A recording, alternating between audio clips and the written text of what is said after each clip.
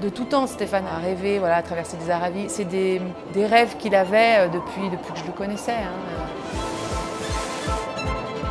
C'est quelqu'un moi qui m'a ouais, qui m'a inspiré euh, plus sur sa manière de voir la montagne et le ski alpinisme en fait.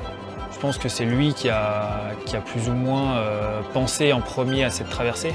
Quand j'ai attaqué le ski alpi, j'ai quand même voulu me renseigner un petit peu sur euh, des noms.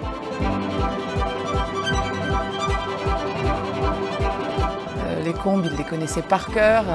Euh, C'était son terrain de jeu favori. Il avait toujours ce sens inné euh, du chemin à prendre. Il n'y avait pas de séparation entre la montagne et sa vie. Stéphane, c'était ça, quoi. C'était le besoin et l'envie de- d'en voir toujours plus, mais de le faire partager surtout.